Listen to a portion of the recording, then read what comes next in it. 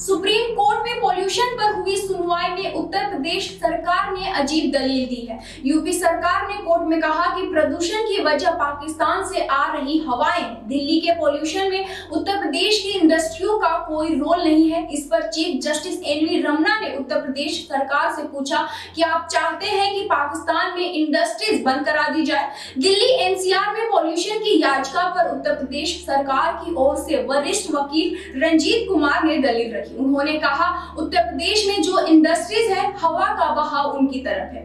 Pollution वाली हवा दिल्ली की तरफ़ नहीं जाती है। पाकिस्तान की ओर से आने वाली प्रदूषित हवा दिल्ली की हवा को खराब करने के लिए जिम्मेदार है। दूसरी ओर उत्तर प्रदेश की गन्ना और दूध इंडस्ट्रीज़ पर आठ घंटे के रिस्ट्रिक्शन की वजह से असर पड़ा है।